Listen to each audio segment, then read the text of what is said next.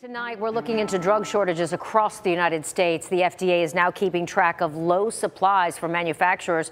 You may have heard about the Adderall shortage just a few weeks ago. Well, now you can add the list amoxicillin. It's a common antibiotic used for bacterial infections. And I want you to take a look at this closely. This is really the FDA's current list. It's long, 183 different drugs now in shortage. And you can see the list here is pretty extensive.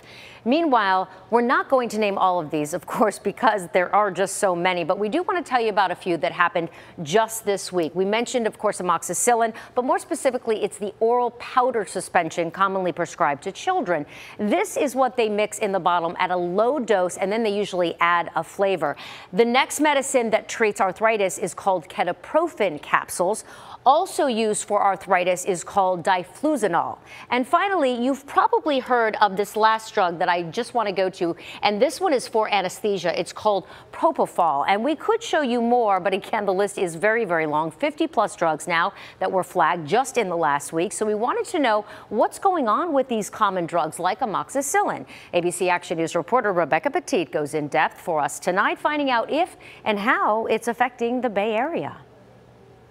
Amoxicillin is the most commonly prescribed antibiotic in the country, especially for children. And now the FDA is warning of a supply shortage with the liquid form of amoxicillin in shorter supply. It is commonly used for ear infections, pneumonias, sometimes urinary tract infections too. Manufacturers of amoxicillin say the shortage is partly due to an increase in demand. This comes at a time when pediatricians across the country are seeing a rise in RSV. Pediatrician Dr. David Berger tells me the respiratory virus is spiking among children at his Tampa practice. We've definitely had our cases of RSV. We've had a couple babies who had to go to the ER, um, you know, because they can have the, the secondary respiratory problems. Dr. Berger tells me amoxicillin is not used to treat RSV RSV, or other viruses like the flu and COVID 19. However, he says kids with RSV may develop symptoms that appear to be bacterial infections or contract a secondary bacterial illness, which would lead doctors to prescribe amoxicillin. The limited supply means parents may have to try a few pharmacies to fill their child's prescriptions. Their other option, getting a prescription for an alternative antibiotic. Work with the pharmacist there or with their prescriber to find another pharmacy that might have the drug in stock. There may be a different concentration or dosage form that's available. But there's also several other options that can be used as far as antibiotics go. We wanted to know what this means locally for all of us. I called a handful of local pharmacies and they tell me they have not seen the impact of the shortage so far.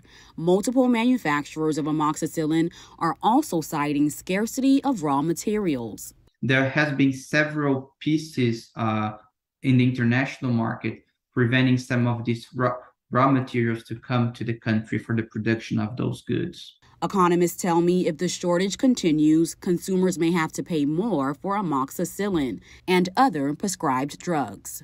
Rebecca Petit, ABC Action News. Meanwhile, we reached out to several local hospitals to get their take. Sarasota Memorial tells us right now their amoxicillin supply is sufficient and the shortage is not impacting them. They say that's mostly because the suspension form is usually used in outpatient settings. Meantime, they're developing contingency plans in case the shortage becomes more long term. They're also working with community pharmacists to inform them of alternatives. John Hopkins All Children's Hospital told us they have enough supply right now, but they're closely monitoring the situation. And Moffitt Cancer Center says they don't use much amoxicillin, but their ability to order the drug has been restricted to just one bottle per week. HCA Largo says supply is not an issue right now. And as part of our commitment to taking action for you, we're also looking into solutions. Tonight, we spoke with leaders at USF's College of Pharmacy who tell us they're working on a program dedicated to making more of these medications right here in the United States. Dr. Kevin Sneed says that many of the name brand and generic drugs we use are actually produced in other parts of the world. If there are any manufacturing delays, any supply chain delays, any ingredient delays, uh, it kind of backs up and you wake up one day and you have uh, very massive medication shortages that we're experiencing with many medications right now across the country. Academic centers like ours here and uh, training and teaching people to go in and create the brand new types of manufacturing facilities of tomorrow. And I don't think it will take as long as people might think. And I know this was a lot of information we've thrown at you, so we compiled it all in the in-depth section of our website, and you can find it by going to abcactionnews.com.